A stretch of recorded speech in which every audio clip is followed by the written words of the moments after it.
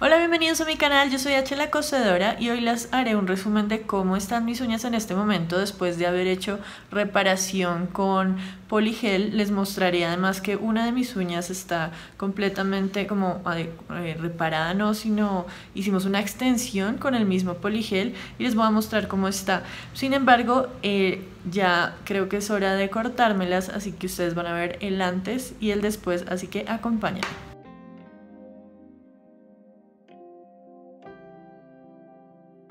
Muy bien, nosotras eh, les mostramos con Andrea de Stamping Colombia eh, la reparación de esta, una de mis uñas.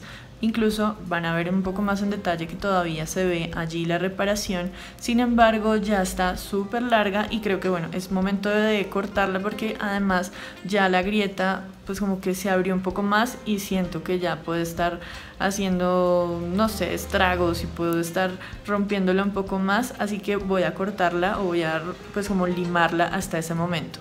Como ven, una de mis uñas, que es esta, está mucho más bajita que las otras porque también tuve reparación, sin embargo creció todo esto y abriendo un archivador simplemente pues salió volando, entonces simplemente esto pasó fue por no tener cuidado, pero lo, voy a, lo que voy a hacer es ponerlas un poco al mismo nivel.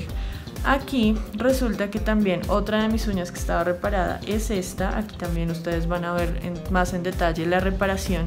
Sin embargo ya se levantó y creo que ya están demasiado largas. Así que lo que voy a hacer es que voy a volverlas a usar de manera cuadrada. Y voy a hacerlo por la grieta que ustedes están viendo allí.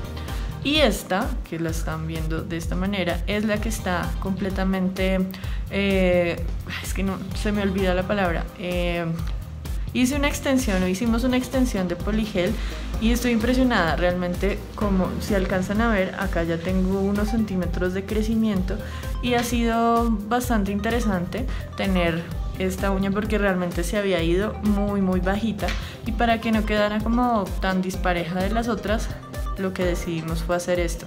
Y realmente me ha gustado, ya llevo un mes con ella y mm, yo lo recomiendo. Realmente me gusta un montón, súper fácil de usar.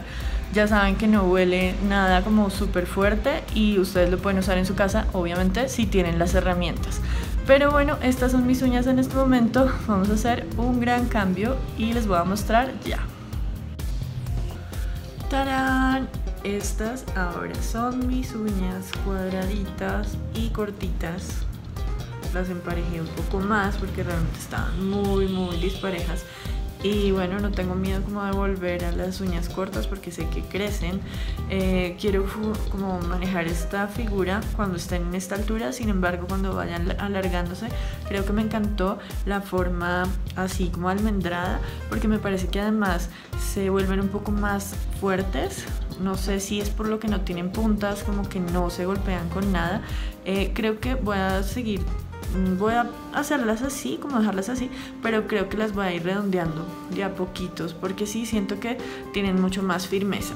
Eh, recomendaría la reparación con poligel totalmente porque bueno me ayudó varios o sea muchos días incluso meses en que no se dañaran mis uñas.